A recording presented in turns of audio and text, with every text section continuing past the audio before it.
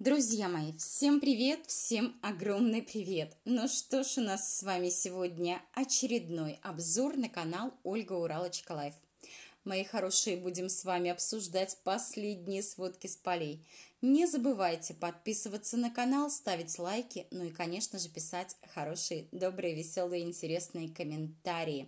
А также не забывайте подписываться на мой телеграм-канал, там масса всего интересного. И спасибо моим зрителям, моим ребятам, мальчишкам, девчонкам, которые там создают такую отличную активность, которые такие молодцы, там всегда весело и очень интересно.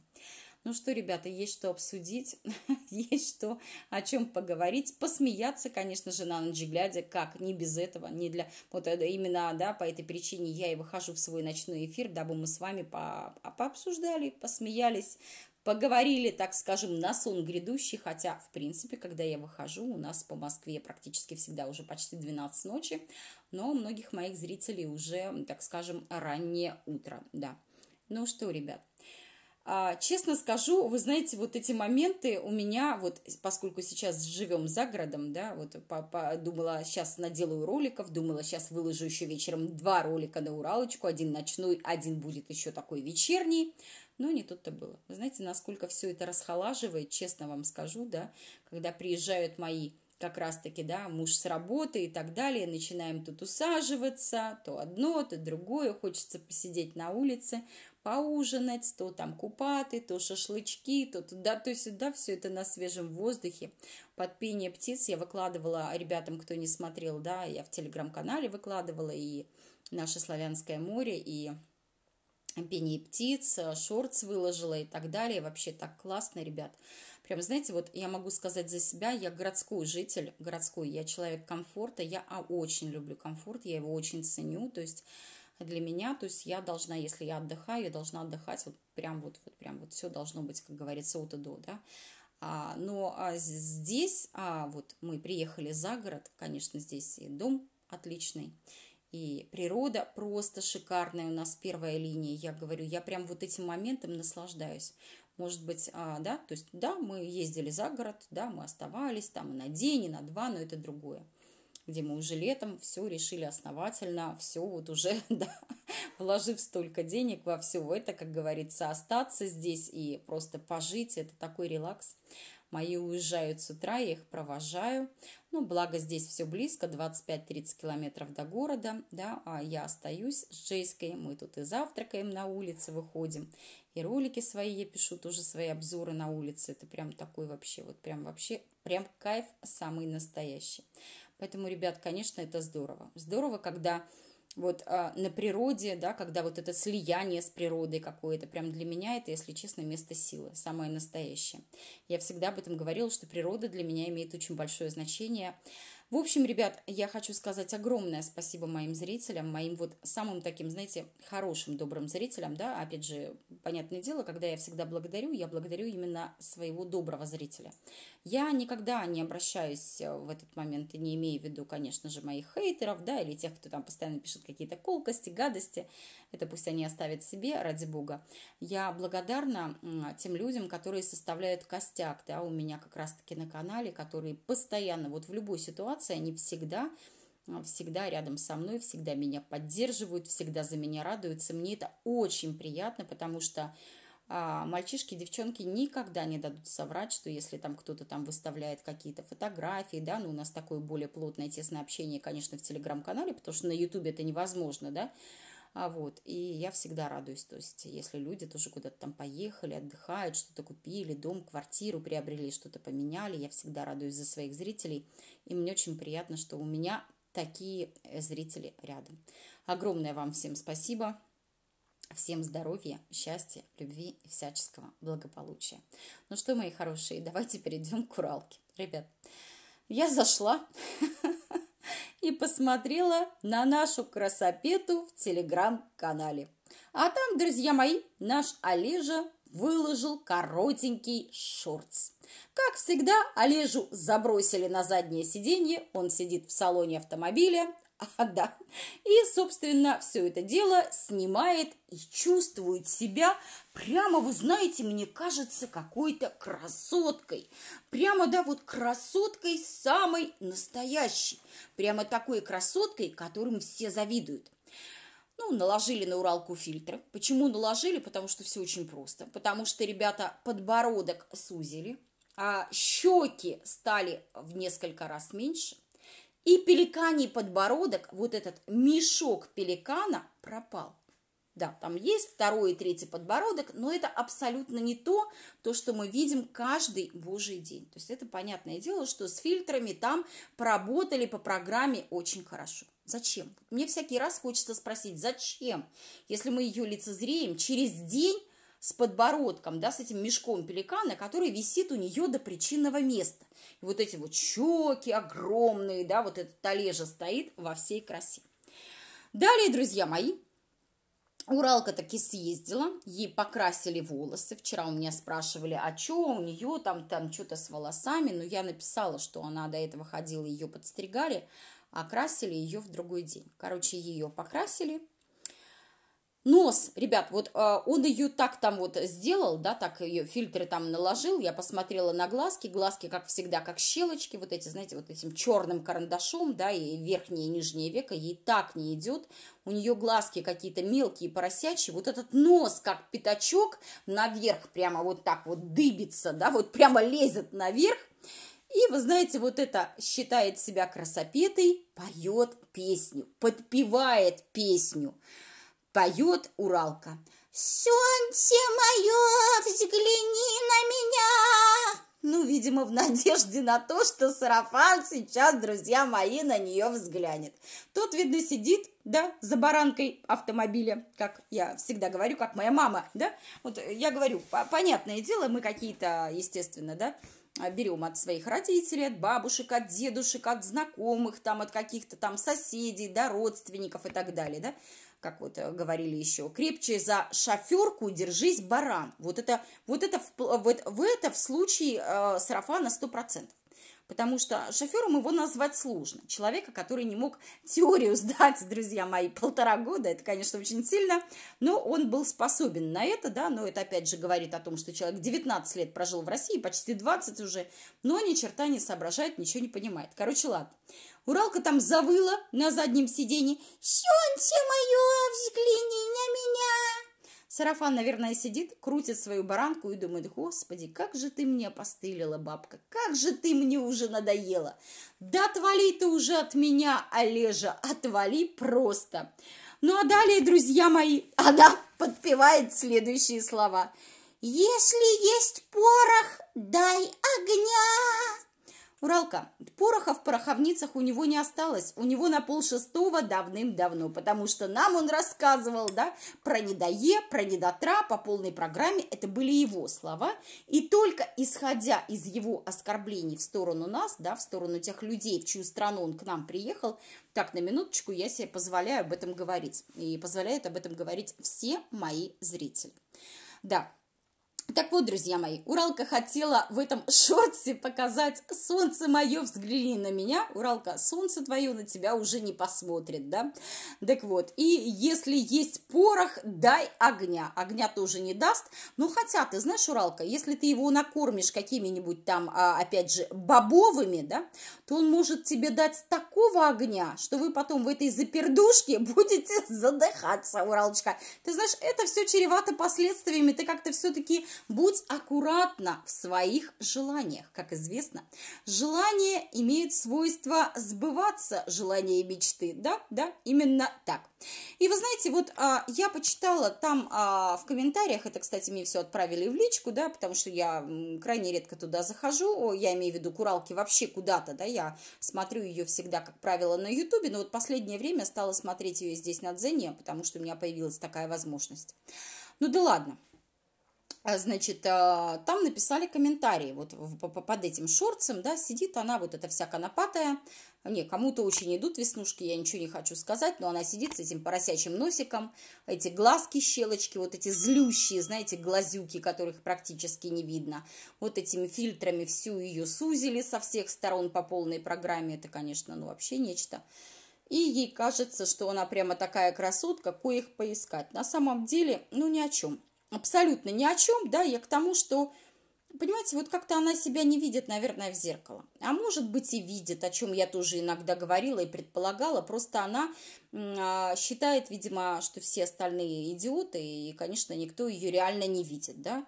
И начинает рассказывать сказки, сказки про какую-то зависть. Так вот, и одна женщина написала там в комментариях под этим шорцем, мол, ну, обычная баба, обычная женщина, написала она про Уралку, коих великое множество. Ну, что вы думаете? Тут же хомячки, самые вот эти вот такие отъявленные овчарки-уралки понеслись, да, хотя какие они к черту овчарки, шакалихи, да, вот такие вот шестерки, шестерки-хомячки понеслись, встали на защиту Уралки. Одна написала, ребят, у нее на секундочку, я даже посмотрела, я даже нажала на эту аватарку, значит, э, на аватарке, а, значит, у нее, ее зовут Михайловна, на аватарке сидит, а, значит, девушка в форме военных лет, ну так, на минуточку. Это та Михайловна, которая защищает зиговантов. Мне не стыдно нигде, Михайловна, а? Уверенно слушаешь, уверенно смотришь, потому что вы здесь появляетесь еще раньше моих зрителей. Даже нисколько в этом не сомневаюсь. Вы-то и бегаете по моему каналу, написывая всякие разные гадости с разных аккаунтов, пытаясь меня как-то как-то, я не знаю, напугать, еще что-то. Я говорю, на меня вот эти моменты вообще не действуют. Я вообще абсолютно другой человек, и все это прекрасно все понимают. Но дело даже не в этом. Короче, то, что женщина там написала, абсолютно обычная женщина, написав про Уралку, да, я бы еще сказала, это абсолютно обычная женщина, это еще мягко сказано. И тут же вот эта Михайловна написала, а вы не заблудились, а зависть плохое чувство. Алло, гараж, Михайловна, а твои деды и прадеды там не перевернулись в гробу, учитывая, что ты у себя на Ави в телеграм-канале ставишь а, девушку в форме военных лет тех самых.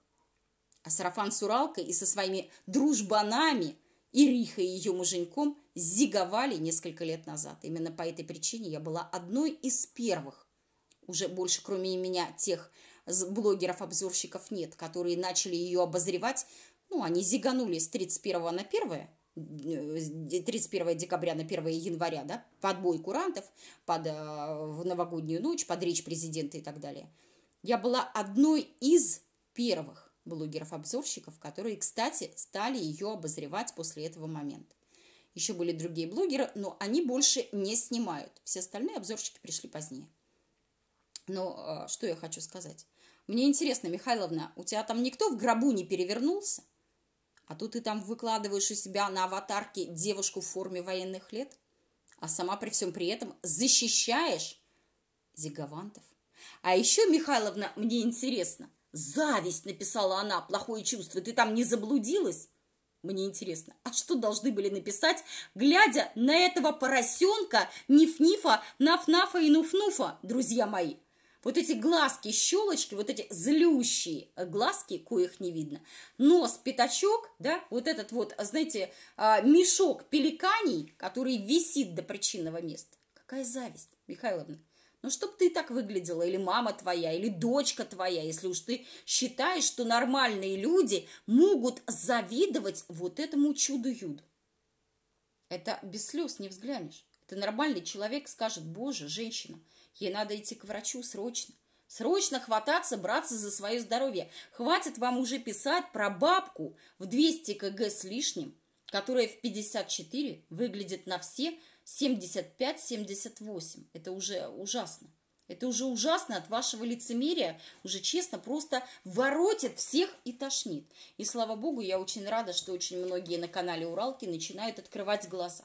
Конечно, много новеньких, которые приходят и не понимают, да, и а, покупаются на то, что ой-ой, нас там гнобят за то, что он там таджик, а я за то, что вот я толстая. Нет, не из-за этого. Я уже миллион раз говорила, из-за чего и так далее. Ладно, друзья мои. Далее, далее с вами обсуждаем опять сегодняшний ролик Уралки и Сарафана. Сарафан ползает по грядкам, то на брюхе, друзья мои, то на карачках. Прямо по грядкам туда-сюда. Уралка в этот момент рассказывает про свои тяготы и невзгоды. Говорит, ой, мне так плохо спалось. Ой, я прям вообще спала так плохо. Несколько часов спала. Ночь спала всего половину. А потом, знаете, вышла тут на дачке, на солнышко, пригрелась, глазки закрыла, проснулась и понять не могу, где я, а где Сафарчик? Ребят, я в шоке. Вы знаете, я вот что смеюсь-то? Я к тому, что вот я сейчас вспоминаю, да, что я сейчас целыми днями одна. Мы с Джейской здесь, да, пока мои уехали утром, вечером, соответственно, приехали. Вот, а закрою окошко, уже немножко прохладненько становится. И, конечно же, сейчас у нас очень тепло. У нас сегодня на солнце было плюс 25, плюс 28, там, да, и так далее. То есть край, а, кайф, красота и так далее.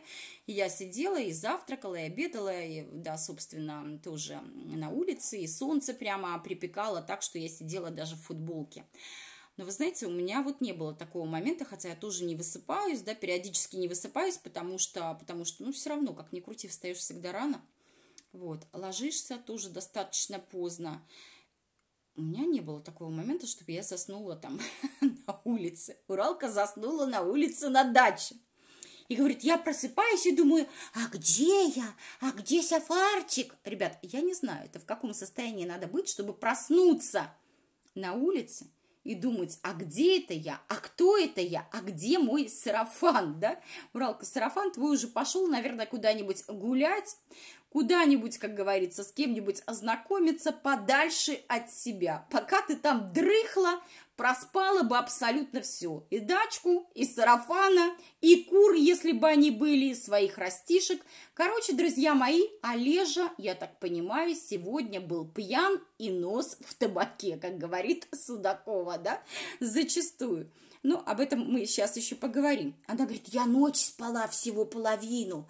Ой, я прям так не выспалась. Ребят, я не знаю, но мне кажется, мало людей, вот честно, я вот... Эм, завидую людям по-хорошему, да, кто вот ложится вот так вот в 9-10 вечера спать и встают прям утром рано, там в 5 утра, я не знаю, меня, нам в такое время никому не лечь, нам никому не лечь, утром, как всегда, не встать, но вставать приходится, потому что кому-то в школу, кому-то на работу, да, кому-то всех провожать, всех там завтраками кормить и а, в дорогу собирать и так далее, это все понятно, но дело даже не в этом, ну, зачастую спишь и полночи, ничего страшного, и от этого, как говорится, еще да, никому плохо не стало. Далее, далее, вы знаете, Уралка гогочет, как лошадь, и, глядя на сарафана, который в этот момент тоже начал смеяться, она там, потому что ему все давала ЦУ и так далее, она говорит, все ржет, блядь. Вы не ослышались. Она именно так и сказала. То есть сарафан там засмеялся, потому что она там, а, ну, опять его доставала со своим бредом, как и что надо сажать, да? Ну, там, что он тупой, что она тупая. И она говорит на все услышание, блогер, ребят, блогер, влоговый блогер. Не обзорщик, да, а тот, кто себя снимает, показывает свою морду лица. Все, говорит, ржет, блядь. Уралка, а блядь было говорить обязательно? Мне просто интересно. Ну, сейчас я повторяю твои слова все ржет, блядь. А это прям обязательно было говорить? Ну так, опять же, на минуточку. А че ему не ржать? У него может быть уже истерический смех, глядя на тебя, дуру. Да, хотя он такой же дебил. Но все равно, ребят, мне хочется спросить, Уралка, ты пьяная? Ребят, ну, понимаете, мне кажется, что она явно не трезвая сидела там, потому что, представляете, проснулась, я, говорит, проснулась, я заснула, говорит, на даче на солнышке, сидя на скамейке, и думаю, а где я? А где сарафан? Это как надо было уснуть до такой степени, что ты проворонила, куда он пошел, в смысле, где я? Ты что, вообще куку? -ку? Но у меня такой момент был, когда мы только первый день переехали за город, ребят. Когда я проснулась на следующее утро, я смотрю и понимаю, блин, насколько непривычно, да, что вот мы в новом месте, в новом месте.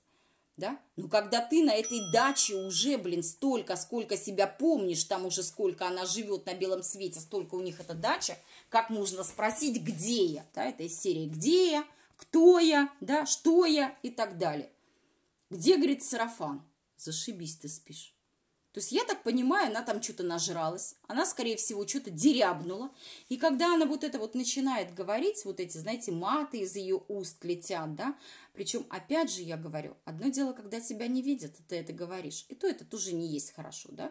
Но бывает так, иногда хочется для связки слов, да, бывает для полноты картины и так далее. Но когда тебя снимают, когда тебя видят, когда тебе все-таки уже достаточное количество лет должна другим показывать пример, все, говорит, ржет. Это она примерная жена мусульманина. Это ею восхищаются его родители. Это ей хотят отдать на воспитание хомячки чужого ребенка, ребенка а, Сарафана, дочку, у которой есть родная мама. Ну, я в шоке. Молодцы. Я так понимаю, друзья мои, Олежа был пьян, нажрался, напился, ну и как всегда, может, обкурился, может, обживался там этого на свае вместе с сарафаном, понятия не имею. А я обратила внимание, ребят, на то, как они сажают деревья. Ребят, э, это я в шоке. Как можно сажать деревья на расстоянии, где нет даже расстояния вытянутой руки, как можно их так сажать. Вот вы мне скажите обязательно, вот просто скажите мне, как так можно их сажать? Ведь они потом будут расти и они потом элементарно будут друг другу мешать. Ну ладно, сарафан тупой, мы уже поняли, что у него там кроме лопаты и кроме одной коровы, которую зарезали, да, по случаю там очередного, там, как говорится, да, а, когда собирались родственники, у них там ни черта нет. Ну, Уралка-то как? Вообще никогда ничего не видела. Ребят, я в шоке. Ой. Далее Сарафан говорит – это тоже мач-мачеха, мач-мачеха. Вы знаете, вот он как она, повторяет за ней абсолютно все глупости. Мач-мачеха, садим, да, вместо сажаем, да, садим. Она говорит, ну нам же объяснили, что это не мач-мачеха, а это одуванчик. А мне интересно, а ты такая тупая, что в свои 54 года ты не знаешь разницы? Ты не знаешь, как выглядят одуванчики? Ты настолько тупая, ребят, представляете, ей даже не стыдно об этом говорить. Вообще не стыдно. Ну, нам же сказали. То есть, а если бы тебе не сказали, то ты бы даже и знать не знал. Ну да. Это действительно очень весело. Очень весело. Мне понравился момент, как написали комментарии, ребят. Написали Уралки комментарии. Писали разные комменты по поводу, где культиватор, который был в прошлом году. Наверное, продали? Одна в комментах написала. Брату отдали. И Уралка лайкнула этот коммент. Ну да. Там послушать Уралку, они все отдали брату. А еще помните, как Уралка год назад врала по поводу того, что они подарили пылесос сестре, потому что у сестры двухэтажный дом, и им понадобился им а, нужен пылесос. Я еще тогда сказала странно. Вы с сестрой не общаетесь, но пылесос сестре подарили. Это было, конечно же, самое настоящее вранье. Потому что и по сей день сестра с ней не общается.